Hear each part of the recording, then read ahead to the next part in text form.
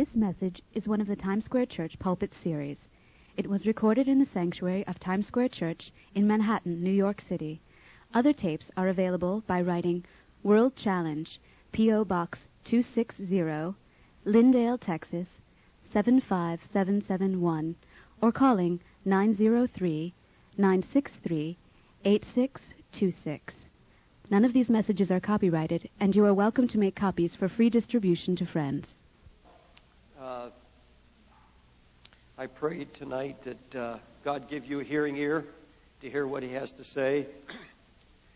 I, I don't know when this is going to end as far as these prophecies on what's coming to America.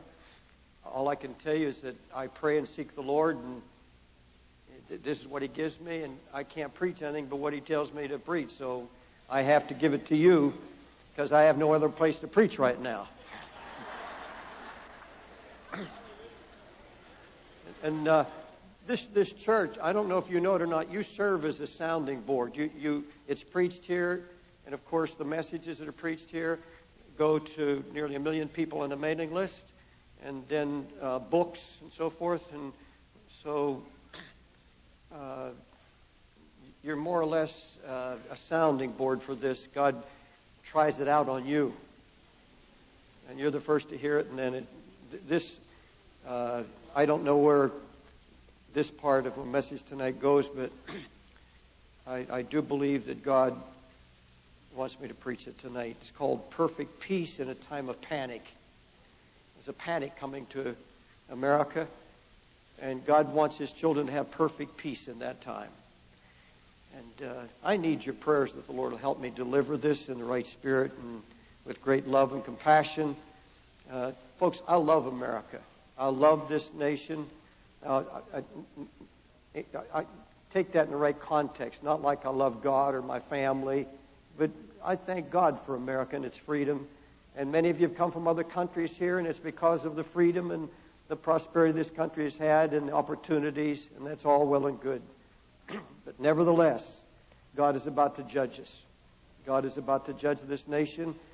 And he always, he said he does nothing except he first warns his people. He always warns. He has watchmen, he has prophets. And I've never believed I was a prophet, but one of his many, many watchmen. Pastor Carter's a strong watchman. He, has been prophesying for years. And uh, please open your heart as we bring the word. Father, I pray that you speak to us tonight.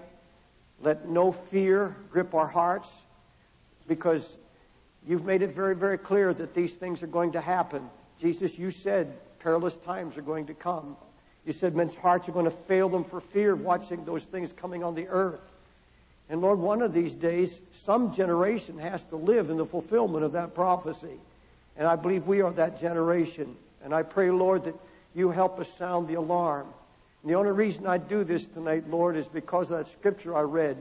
If the watchman sees the storm coming, he sees the enemy coming, he doesn't warn, the blood will be on his hands. Lord, I don't want any blood on my hands. I want to speak as an oracle of God only as you lead and direct. And I pray, Lord, you speak to our hearts. And then at the conclusion of this message tonight, may we all, with, with joy, lift our hearts and our hands and say, God has everything under control. I'm under his control. There's nothing to fear. In Jesus' name I pray. Amen. Uh, last night, I went up to my office across the street on the 38th floor, and I got out some of my old messages preached in 1990 and 91, and I started reading them. And I, I was shocked at what I was saying because I was talking this way 10 years ago uh, nine years ago especially. In 1991, for example, I pulled out a message that I'd preached from this pulpit. And at that time, unemployment was raging here in the city. The stock market was on a downhill uh, run. Uh, this was uh, about a year and a half after the uh, October crash. And uh, there, there, were no, uh, real estate was dead. tremendous unemployment. There was fear everywhere. And I came to this pulpit and I preached a message on the desolation of America, I believe it was. And uh, I, I, made a statement and I read it and it shocked me. I said, the worst thing God can do to America now is because if, if we don't learn from what's happening now, from the unemployment, the stock market shaking, and the unemployment, the, the, the real estate collapse, buildings here, uh, real estate absolutely collapsed in this city. No building was going on whatsoever, hardly. No tall buildings, nothing.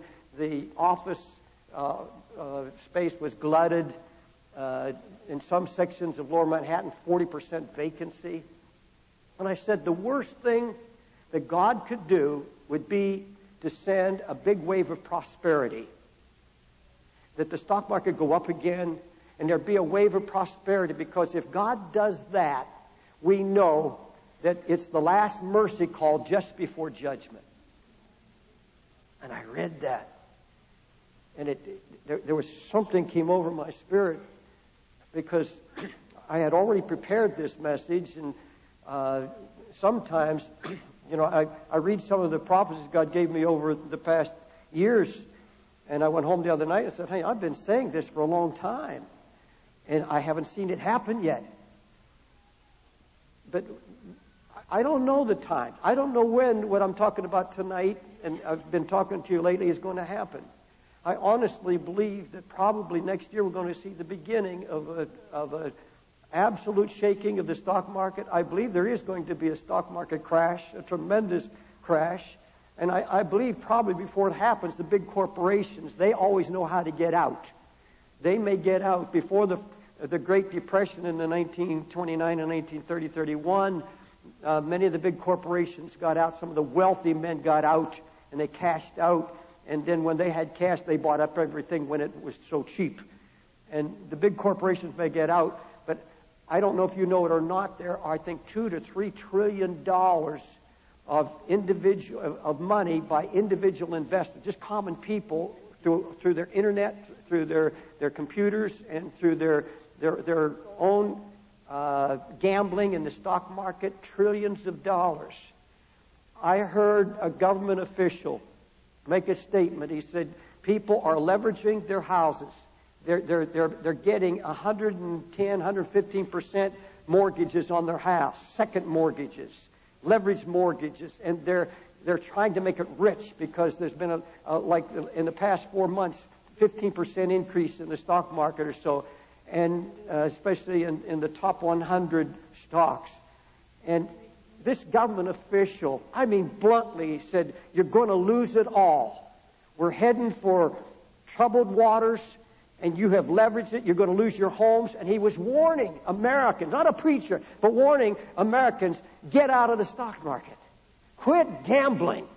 This was one of, this is one of, of the advisors of the leaders of this nation. It wasn't for me. If, if I said something like that, it's just a, a preacher uh, on a soapbox, but this was from a government official. Millions of Americans have shut their eyes to the blatant sins of our leadership. You know what they're saying now?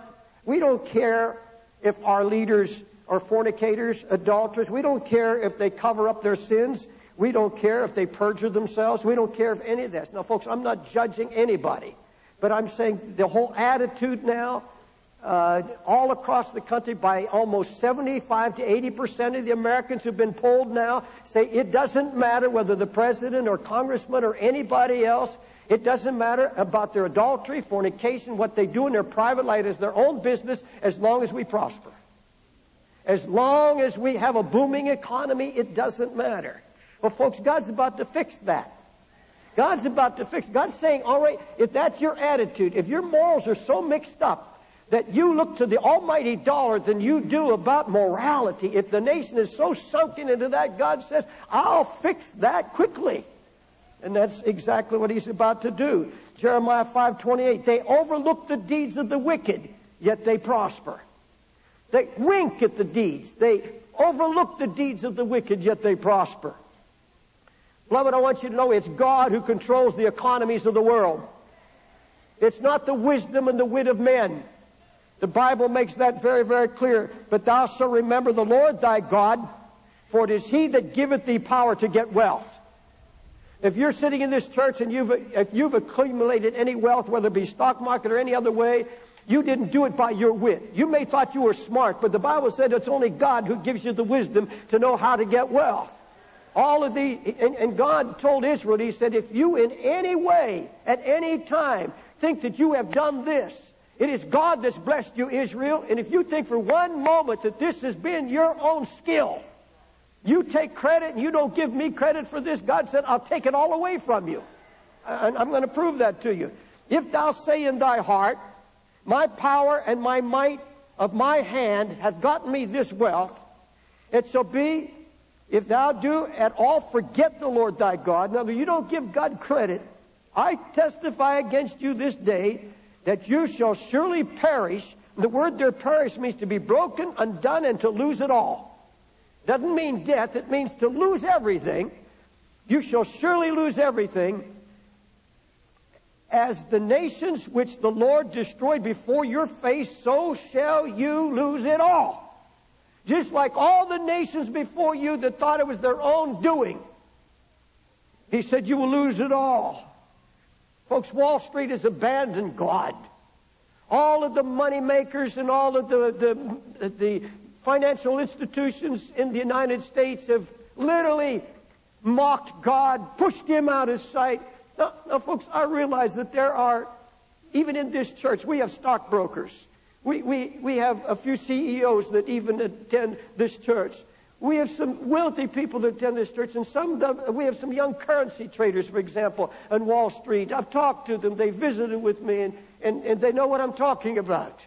And they're godly men, and I thank God for that. I'm not painting everybody with that same evil brush. And, and, and gentlemen, that, that's a legitimate job. I'm not trying to put you down or anything else on that. I do advise you to be, be very, very cautious in light of what you're hearing prophetically from this pulpit. But when, the Wall, when, when, when Wall Street went to 7,000 points, uh, was, was there anybody that stood there when they rang the bell and said, uh, uh, We thank God that we're being prospered. God has enabled us to accumulate this wealth? When it went to 7,500 points, did you hear anybody talk about God blessing this nation? When it went to 8,000, did you hear anybody in any financial institution anywhere give God an ounce of credit? Did you hear anything when it went to, to 85 and then it broke this past week 9,000 and then came back down, but it's right hovering around 9,000 now. It may go to 10. It could go eventually to 12 or on. I don't know. They think there's no end to it. I hear nothing. I hear not one single word of acknowledgement to Almighty God who said, I have given you this power. And you say this is your skill. I, I heard a financial expert, one of, one of the great um, moguls of finance in the United States. He said, it, We have become the smartest, most skilled financial nation on the face of the earth. Japan said that 10 years ago, and within a year, there was a collapse of the real estate market, there was a collapse of their finances, and now the president of Sony this past week has warned that Japan is going into a depression. And that the president of Japan is like a pilot who's uh, piloting a plane that's going to crash. And he likened the president of, of uh, Japan right now to Herbert Hoover, who told Americans that America was going to prosper, be two cars in every garage and two chickens in every pot just before the Depression hit.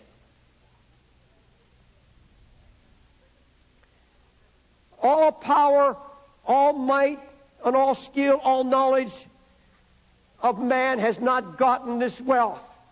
And we have forgotten God in the process. And God has just said, if you at any time forget the Lord God, you do not give him credit, I testify against you that that day comes, you shall surely perish, you shall lose it all, just like all the other nations that have preceded you. If you believe that the Bible is the Word of God, you've got to believe that America is going to see its wealth evaporate and perish just as Moses prophesied. Every passing day now brings us closer to the fulfillment of this prophecy of Moses. Every day we get closer and closer to the time when this prophecy, God means what He says. You're not giving me credit. You're pushing me out of your society. And silver and gold, the dollar has become your God. Folks, you know what they're doing in Wall Street now? You, you, uh, New York Times has a picture. They, they talk about uh, flaunting their wealth now. Uh, they, they, they, had a word for it, I can't remember, but it, it, it was filthy rich. And they were talking about young, young businessmen now who are making it so big, spending uh, $5,000 for a bottle of wine, buy $100 cigars, and smoking half of them and throwing it away, lighting their cigars with $20 bills.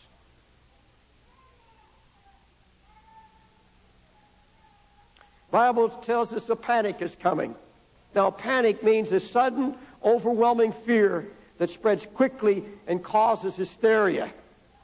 And God's about to speak a word, and a hurricane of confusion is about to sweep over the land. God's fist is coming down on Wall Street. And there's going to be a panic. The prophets warned that this panic, in this panic, they're going to cry for help. There, there will be a cry. All of these are boasting now. You, I told you about the, the cartoon I saw, the Titanic was steaming down, and it had U.S. economy, and up on top, not even God can sink this ship.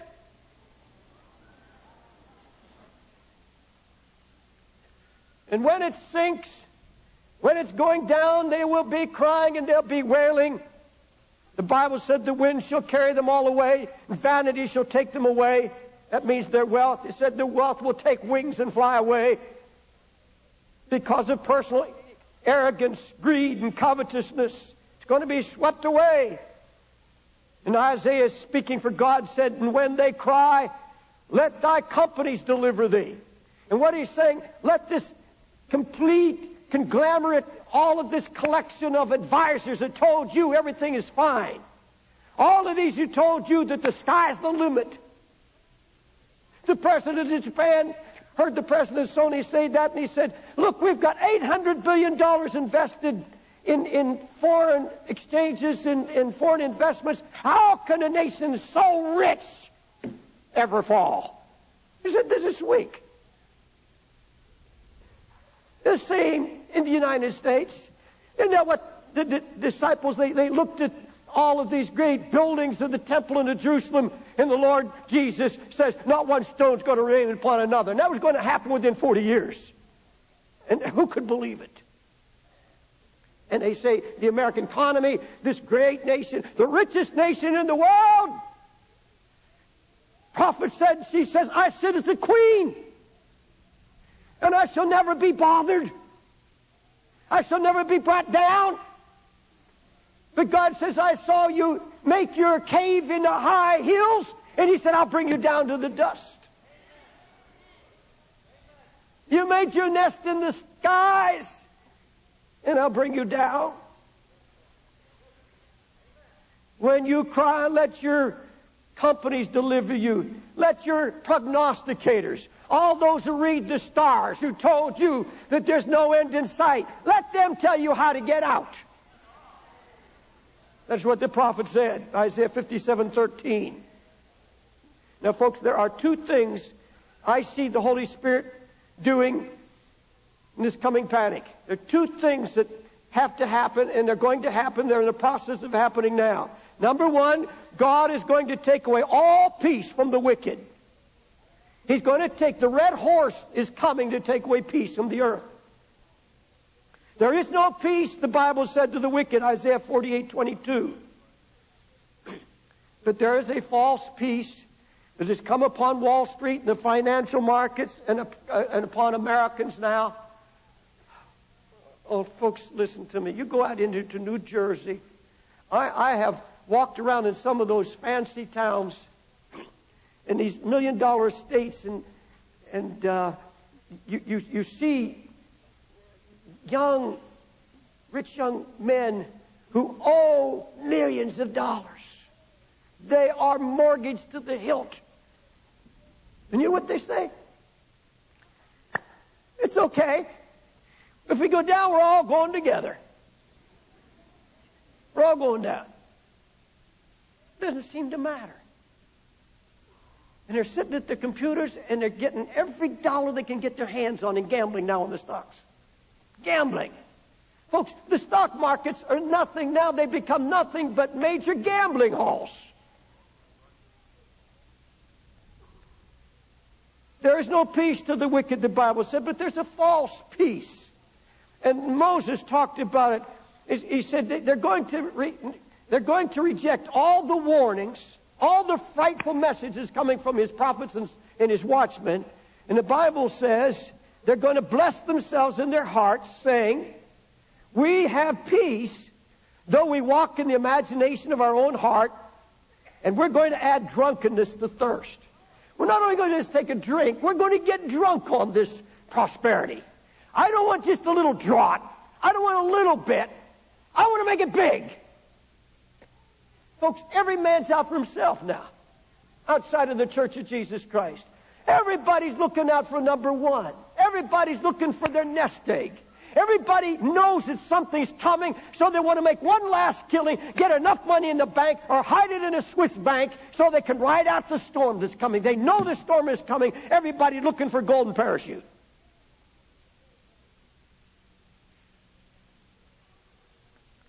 Against such the Lord will not spare. His anger and his jealousy shall smoke against such a person. Deuteronomy 29 20. He said, My anger will smoke against you because you've been given over to covetousness. You don't give God credit. You've moved God out of your mind, out of your systems, out of your programs. You've removed me completely. You have nothing to do with me. And now you bow at the golden altar of money. Now, there can be nothing plainer in God's word than that when God judges men for their wickedness he takes away their peace. Listen to it. The way of peace they do not know. And there is no judgment in their goings. They have made their paths crooked. Whosoever goeth in there shall never know peace. Shall never know peace. They have this false peace, but it doesn't last. There's always that inner knowing. And God is even now taking away the peace Boy, wait till the panic hits. There will be no peace. The false peace will not see them through. Right now, there's a sea of calm. Right now, a few waves here and there, but the Bible said the wicked are like the troubled sea when it cannot rest, whose waters cast up mire and dirt. There is no peace, saith my God, to the wicked. Their houses are full of deceit. Therefore, they've become great and they've grown rich. They've grown fat are prosperous. Now they shine. But shall I not visit for these things, saith the Lord? Shall not my soul be avenged on such a nation as this? God said, Oh, yeah, you've grown rich, you've grown prosperous without me, you say. You've turned your back on me. But God says, Shall I not move against a nation like this?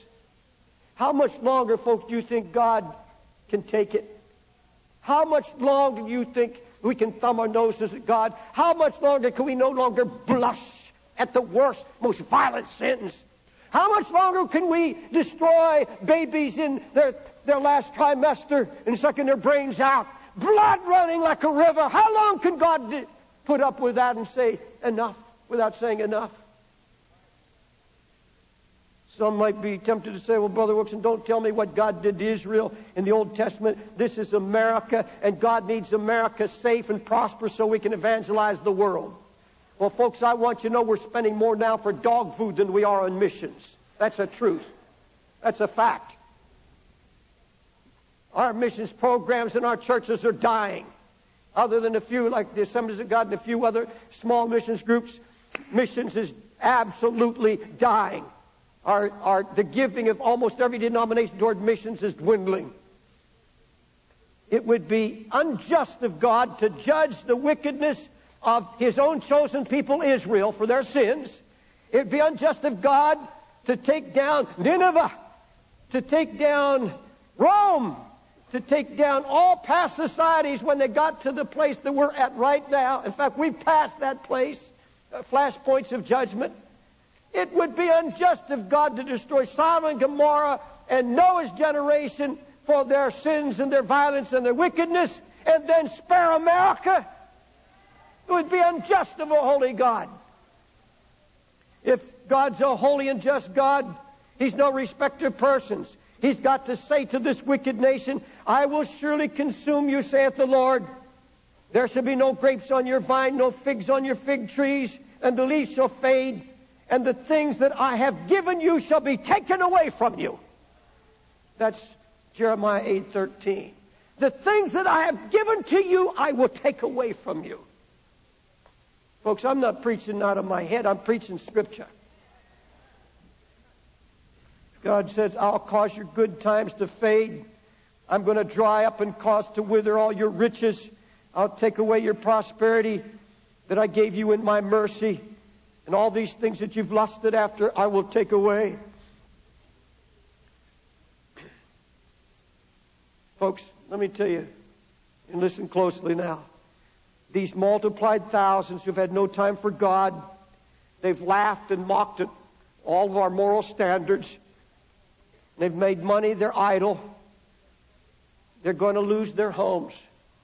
You are going to see in the streets of America, not too distant future, almost every block you're going to see home after home after home with a for sale sign. Millions of these people who have leveraged their homes and, and speculated trying to make it rich are going to lose their home, they're going to lose their furniture, they're going to lose their cars, and it's going to be just here, just like it is in Indonesia. I believe we're going to have a 60 to 70 percent devaluation of all real estate in America. I believe it's going to be just like Indonesia, where 100,000 Mercedes are selling for $20,000 now, just trying to raise a little cash to make it.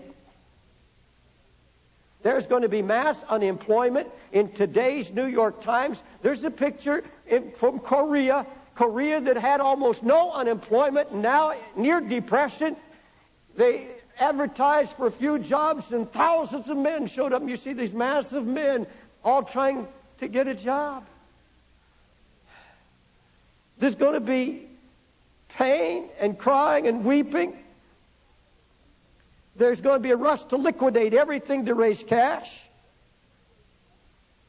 The Bible said their houses shall be turned to others. I'm going to stretch out my hand upon this land, Jeremiah 6:12. Their houses shall be given to others. Recently, a scandal broke out in Japan in, in, in, in what is their uh, central finance system in Japan. And a scandal broke out. The president of that, it's, it's just like our Federal Reserve. The president of their Federal Reserve committed suicide a few weeks ago, and seven of their leaders of that department all committed suicide. Folks, there will be mass suicides all over the United States. There will be suicide left and right. And it's not going to be just rich men, it's going to be ordinary people uh, and, and middle classes who, who have absolutely tried to make it rich, forgotten God completely, and have, have, have invested so called investments, and those investments evaporate overnight. My brother, sister, the panic is on Wall Street is going to be worse than anything this nation has ever seen. When I read Jeremiah and what he said to his nation, it seems so relevant to what I see today in America. Listen to what he said. The spoilers have come upon all your high places. The sword of the Lord has devoured from one end of the land to the other. No flesh has peace now. They have sown wheat, but they're reaping thorns now. They put themselves to pain, but they shall not profit. They shall be ashamed of their revenues because of the fierce anger of the Lord. They're going to be ashamed of their revenues. In other words, they're going to live in shame because they're losing everything. Folks, the Bible is clearly telling us. It's as clear as you can be. There's no, there's, there's, there's no getting around it. God has outlined it, spoken clearly. Now that's the one side. I told you two things I see the Holy Spirit doing when this panic comes. And he's getting, he's even setting this up now. He's taking away all peace from the wicked. On the other hand, he's going to provide perfect peace for the righteous. perfect peace for the righteous. Now, let me get into this side of it because I think you're ready. Isaiah 57 19. Hey, folks, listen to me, please. I'm not playing on your emotions. But let me, this is not easy. This is not easy to do. It's not easy to preach. This is the end of side one. You may- I, I told you, I, I told you about five years ago, I, I, I, or there was a time about 10 years ago, I don't, it wasn't that, probably eight years ago, I said, Lord, I don't want to prophesy anymore because people don't want to hear it. And I get so sick and tired of all the letters and calls and call me doomsday, even Assembly God pastors from all the United States. I got tired of it. I got fed up. I said, Lord, I, I don't want to do it. And for five years, He took it away from me. And, and I'm not going to do that again. I'm going to obey Him, and I'm going to speak it. But, folks, I'm, I'm trying to speak it in His love and His authority. But I want you to hear clearly now what I, I believe God, the Holy Ghost, has given to me for, for you and for the church. Now, listen very, very closely. I create the fruit of the lips, Isaiah 57 19. Peace, peace to him that is far off, and to him that is near, saith the Lord, and I will heal him. And in the Hebrew, it is not peace, peace, but it's perfect peace to him that's far off, and to him that is near, saith the Lord, and I will heal him. In other words, for the generation that was spoken to and the fourth generation, which is us, right here, perfect peace, and I will heal. Now, in all of America's history, for all of its its panics, its, its uh, depressions, and everything else that has happened in the past, we have never been to a point like this where we have the opportunity of seeing the Lord bring forth the greatest testimony to His glory in all of the history of this nation. Because He is going to raise up a people who have been endowed, endued with absolute perfect peace the peace that Christ Himself now enjoys at the right hand of the Father in a perfect environment, He is going to endow His people with this same perfect peace. Now, it's not everybody. Not everybody who says, Lord, Lord, is even going to get to heaven, let alone have peace.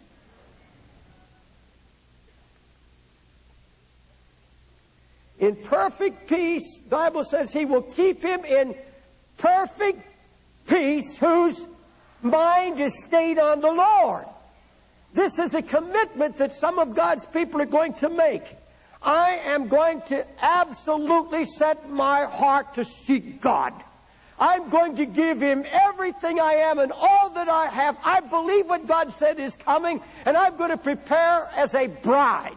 Folks, I'm not preparing to ride out a depression. I'm not preparing to ride out an economic storm. I'm preparing as a bride of Christ. Because that's what this is all about. You see, what is coming to America is not judgment on the church. It's purging for the church. It's not judgment on you and me if we are loving Jesus. Not at all. Why would he judge us when we're walking in his faithfulness? This is not judging, but you see, whom the Lord loves, he chastens. And he loves his bride. And he sees that his bride has been bespotted by the spirit of this age. That the prosperity, that the covetousness, that the greed is creeping into his church, into his bride. And the Lord says, if I sit still much longer, I'll be losing them on the right and on the left and I will not give my bride over to the wicked one. I will not let my bride go.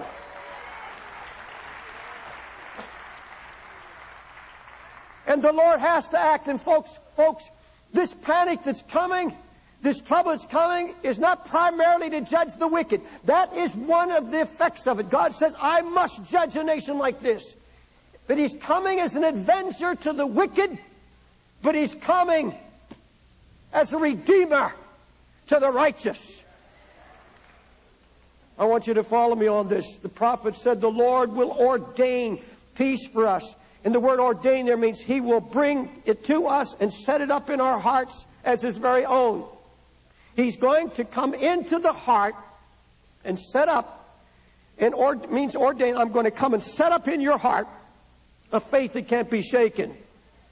Folks, when the panic strikes, when the ominous news begins to send shockwaves and fear across the land, and the hysteria begins to mount, all God's people are going to experience a time of uh, some time of anxiety, just human anxiety. I will feel it. You will feel it. It, it, it. It's just it's human to just feel that immediate reaction to my goodness, this is incredible. Just as God said. And to see it unfold, there will be a time of anxiety. But God's going to have people to have the resources to immediately take control of every thought and bring it into obedience to the truth of the gospel of Jesus Christ as they've been taught it. Hallelujah. God is going to devastate the economy, not only as a judgment, but it is, listen to me closely, to pluck his bride out of the contagious spirit that's in America. It's contagious. Folks, it is. On your job, all you hear them talk about are things and money. All you hear about people, what do they talk about? Their newest clothes, their newest things, the money they're making, their investments, uh, furniture, cars. You don't hear about God on your job. You don't hear about the things that, you don't hear about judgment. You don't hear of any of that. But it's contagious because just like Lot who vexed himself night and day at the things he saw and heard, we get vexed in our spirit. But all folks all over America in the church, many, many at one time had a, a white robe prepared to be with the Lord, adorned, studying the Word and praying and seeking God. Now they're out chasing, just like everybody else, chasing the almighty dollar, trying to strike it rich. Spirit of greed and covetousness that is laid a hold of them. And God says, no. I'm not going to let it go. And folks, I believe that this is going to activate God more than anything else, motivate God to move against this nation. He says, I will not let the Spirit consume my bride.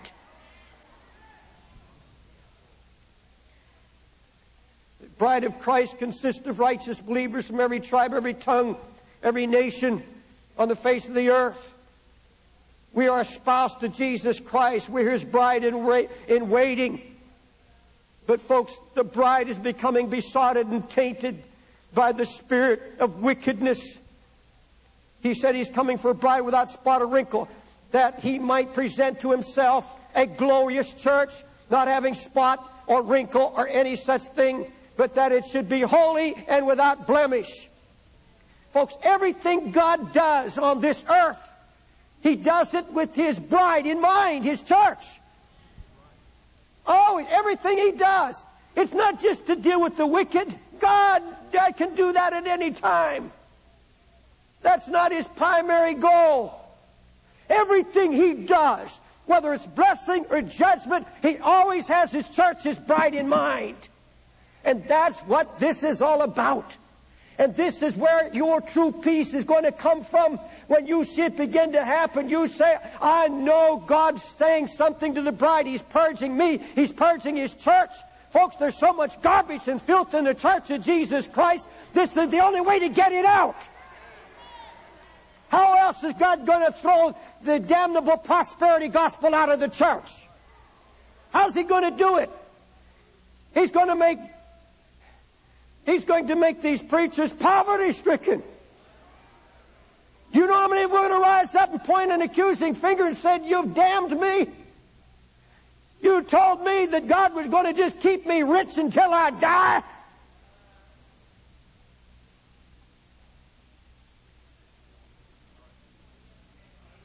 Whoever thought we would live to see the day when even some evangelical churches now are condoning homosexual lifestyle. That's the church. A group of ministers in Sacramento, a, a, a, a group of, I think, 15 pastors with a fellowship just took in a witch in fellowship. I have the, I have the newspaper clipping that was sent to me. A witch, the head of a coven. It's considered religion that these pastors, there's a picture in the paper, these pastors embracing the witch. Who ever thought I would, we would live to see the day that so many Christians would be surfing the network for filth and pornography? Somebody wrote me a letter and said, Brother Dave, the Bible said Satan goes about as roaring lion seeking to make devour. I'm telling you, the devil surfers about on the internet seeking whom he may devour. Whoever lived thought we lived today to see the day that there was so much adultery in the church. We see a day when so many children, young people, 15, 16 years old, have sex promiscuously at any time and feel no guilt. Even in our churches. Whoever thought we'd live to see the day that we have everything in the world brought into the church and embraced and accepted? Bible said, but Jeshurun, means Jerusalem, waxed fat, prospered, and kicked. You have waxed fat and you've grown thick. You've been covered over with a fatness. And then he forsook God, which made him, and lightly esteemed the rock of his salvation. And we have come to a time in the church now, even the church of Jesus Christ, where a bride is being harassed. A bride is being bespotted by the spirit of this age. Even parents now, they, all they want to do is put their kids in front of a television set and let the TV be a uh, uh, uh, babysitter. And all, all you see even from Disney now is witchcraft and foolishness, and your kids are being inundated. And there are parents who have teenagers, they let their kids do anything now as long as they don't aggravate their kids.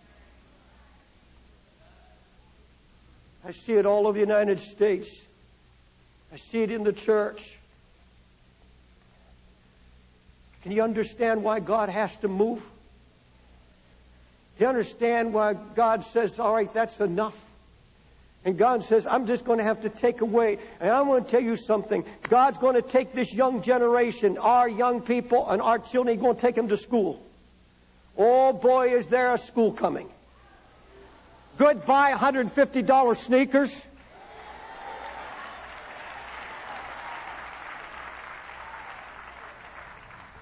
Goodbye $90 Levi's with holes cut all over them.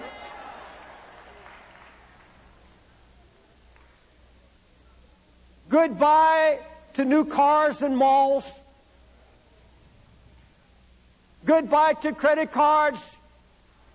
Goodbye to the easy living where there's no sacrifice and no willingness to work and lift a finger to do, even take the garbage out. Our young people are going to school, folks.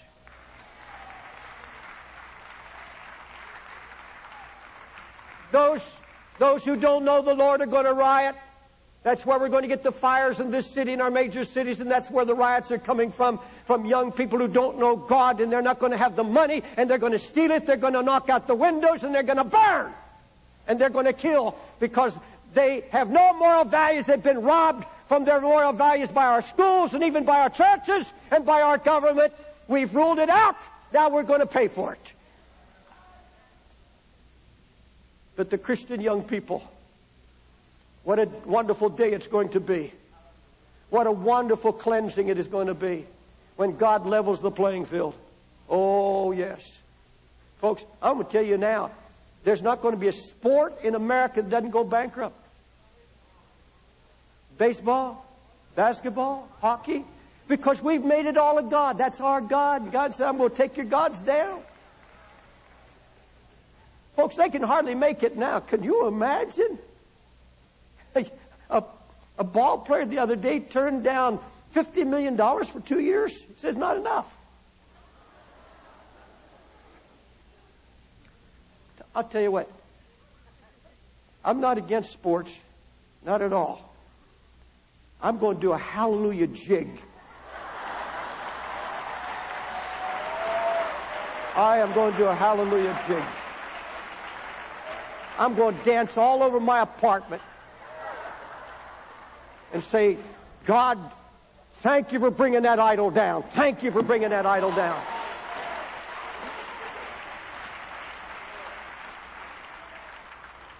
And that's just immediately going to release about 10 million American men can afford to go to church on Sunday morning now.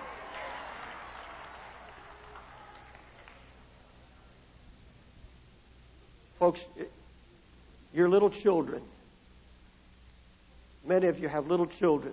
If you stay faithful to God, hear me, they're going to be raised in a whole different atmosphere. They're going to have a work ethic, should the Lord tarry. They're going to have true values because this whole thing God is sending to straighten out our perverted values and to preserve His bride and to wean us from the spirit of this age, to wean us because we become too involved in the things of this world. He's going to do it for me. He's going to do it for you. God's going to keep His people. God said, You're not going to have to beg for bread. You're not going to beg for bread. You're going to have a roof over your head. Now, that roof may be in with somebody else. I don't know. We heard a message this morning that should be preparing us about sharing.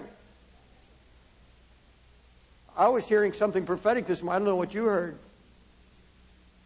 God was telling me what I'm going to have to do one day and what you're going to have to do when one of your Christian friends loses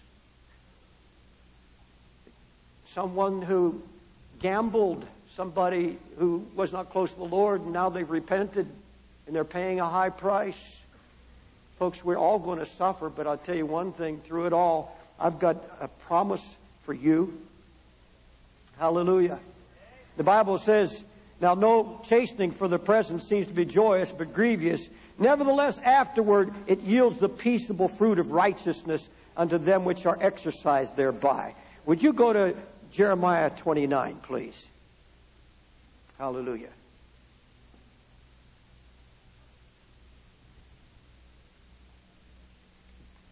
Now, don't race down the pages to see where I'm going. You'll never find it. I want you to stand with your Bible open.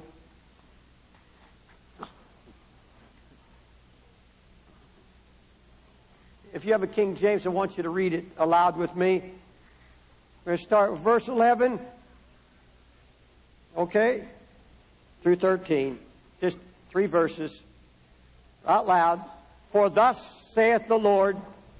Oh, I'm sorry. Verse 11.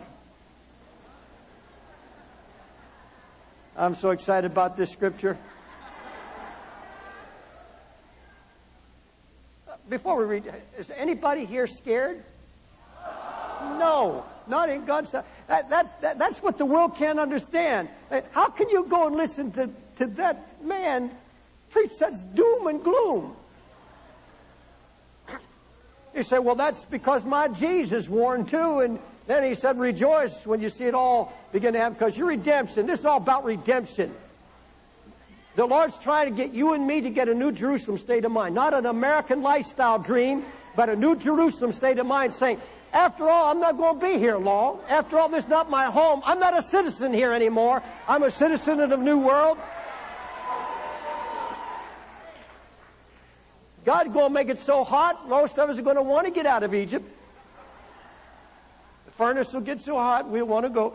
Listen to verse 11. Read it out. For I know the thoughts that I think toward you, saith the Lord, thoughts of peace and not of evil I give you an expected end. Now that means it's going to end. There'll come a time we're going to come through it in His way and His time. Everything is going to be changed after that, but we're going to come through. Verse 12. Then shall you call upon me, ye shall go and pray unto me, and I will hearken unto you, and ye shall seek me and find me when you shall search for me with all your heart. Hallelujah. Glory to God. You'll find me find him what? All sufficient. Everything I need. Hallelujah. He's still the great I am, folks. Still the great I am. Hallelujah. I want you to turn around and shake hands with three people. It's going to be good. It's going to be good. It's going to be good.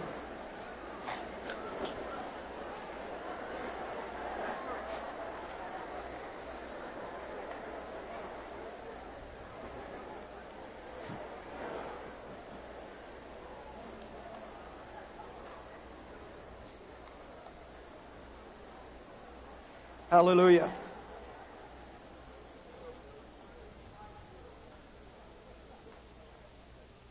Hallelujah. It's going to be good. Do you know where your peace comes from now, folks? It's, it's by, when you see these things begin to happen. Well, I can look you right in the eye and I tell you with everything I know of God. I came to you from my knees. I came from the secret closet. And I'm telling you it's going to happen. But the thing that's going to, that, that will give you peace is you're going to be able to say, God has to do it.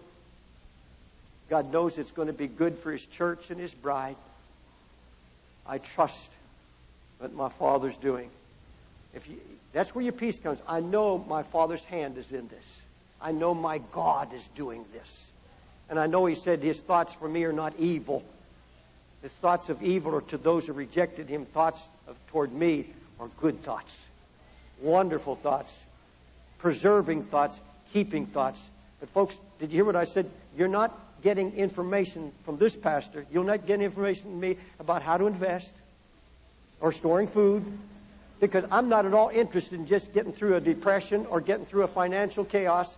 I'm only interested in one thing is getting you and me to a place where we are adorned as a bride.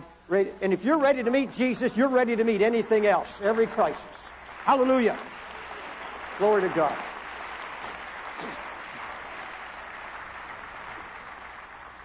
By the way, if you store food, don't tell anybody. They'll be coming at you. Bang, bang, bang.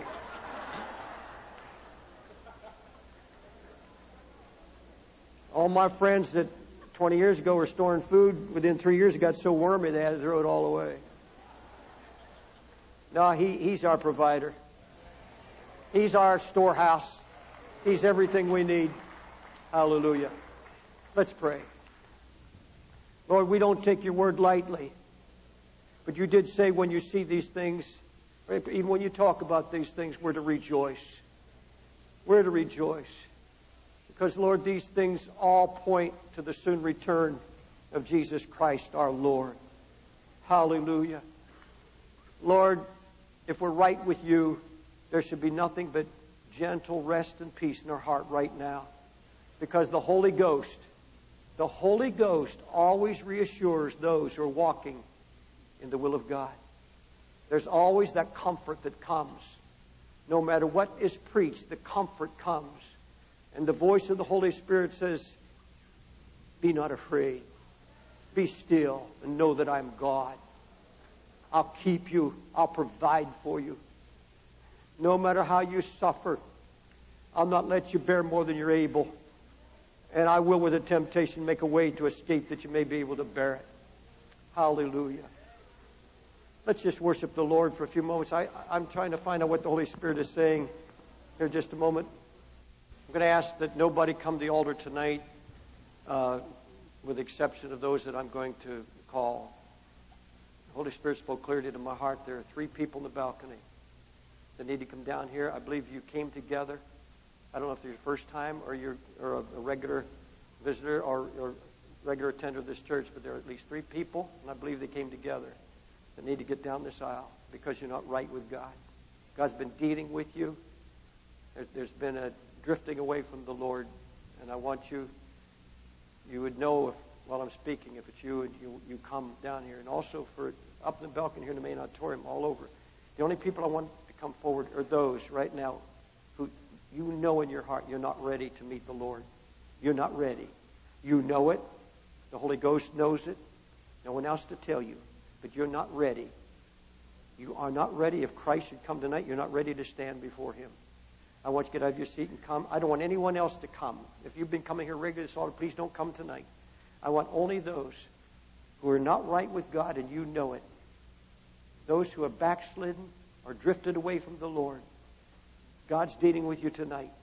I want you to come right now. Let me pray with you. Don't come unless you feel that drawing. And the, I don't care if it's just three or four or five people come here. Not just it, it, it, not looking for just a, a bulk of people here. God's interested right now in getting you ready. That's what this preaching about, and all the preaching lately is that, that everyone that comes to this church, everyone walks in these doors, would be ready when they walk out to meet Jesus. Not to be ready for a depression, but to be ready to meet Jesus. Because you don't know whether this is your last night or not. Up in the balcony here in the main floors, they sing that again. Come meet me here, and let me pray with you, and we'll believe Jesus to, to really change and touch your heart. And up in the balcony, go the stairs on the other side, and then come down any aisle. Amen. Just come and move in close. Move in closer if you will, please. Hallelujah. You still come while I'm talking. You still come while I'm talking to these. You, get, you come at any time. Amen. You that come forward, look this way for just a moment, please. This is going to be a wonderful time for you. This is, this is what God's been wanting for you for a long time. I'll tell you what, that took some courage to get up and just walk down the aisle and admit that you have a need. But that's what God's waiting for. He's waiting for you to take that step and cross the line now. Look this way, please. Look at me. All of you came forward. Will you take that step? The Lord draws the line and said, Will you cross over that line? Don't try to figure it out. Don't try to do it your own way anymore. Come now and let me take control. I pray that every day of my life, Jesus, take control of my life. I give, I give over all my life. You control me. He said, if you surrender yourself to Him, He'll take control. He really will. And He said, if you confess with your mouth all the sins that are in your heart, He'll forgive you and cleanse you. Many of you know that. Many of you have known the Lord and maybe slipped away from God. But He wants you to come back to that first love right now and surrender. Hallelujah. Listen to me, please. God doesn't want to argue with you. He doesn't want to fight with you. Because if you resist Him, you can never enter in. Let go of all your resistance. The Lord's not interested in having a fight with you, trying to argue with you. He's just saying, Are you willing to give me everything? Are you willing now to lay down your life, your sins, and believe me that I'll give you the power and the strength and the courage to follow it through? The Lord said, You take the step, and I'll, I'll see that you, because the Bible said He's the, he's the author and finisher of our faith. He's the one, the Holy Ghost is the one that brought you down the aisle here. And He's the one that will keep you and finish you till that wonderful day when you stand before Him. Amen. How many are ready to surrender everything of your life to Jesus? Raise your hand, please. You say, I'm here to surrender everything to Christ. All right, keep your hand raised. Just keep it raised right there. Pray this with me right now. Jesus, say it loud. Jesus, here I stand to give you my sins, all my doubts and fears, everything I am, and all that I have. I give you my heart Lord Jesus, forgive me and cleanse me of my stubbornness, my foolishness, and my sins. Lord Jesus, I'm not running from you. I'm running to you. I've come to give you my heart. Receive it now. Come into my life. Holy Spirit, give me an understanding of what I'm to do and give me power to do what you command me to do. Jesus, teach me to love you and teach me to follow you. All right, now I'm going to pray for you while you have your hand raised right there, just right you're at. I'm going to pray for you right now. Ask, ask the Holy Spirit to finish the work. Father, I pray right now that you send the Holy Spirit and you lay hold of every heart. Give, give everyone the knowledge that's standing here right now that God has heard this prayer and it's the beginning. Lord, it's not the end. It's just the beginning. It's the opening of the door to let Jesus come in now and do his work. And to, the, the Holy Spirit would come in right now to open up the truth of Christ, open up the gospel, open up the heart that says, Lord, I'm going to keep following you. I'm going to press in till I find everything I'm looking for in you, Jesus. Now, pray that with me right now. Jesus, I'm giving everything to you. Say it right in your own words. Lord, I'm giving you my heart. I give you my sins. I'm coming back to you, Jesus. And I know that you'll prepare me for your coming. Hallelujah. Now, thank Him in your own words. Just thank Him. Lord, I give you thanks. I give you praise for you are faithful, you're loving, and you're kind. Blessed be the name of the Lord. Jesus, we love you. Amen. Can you say you love Him?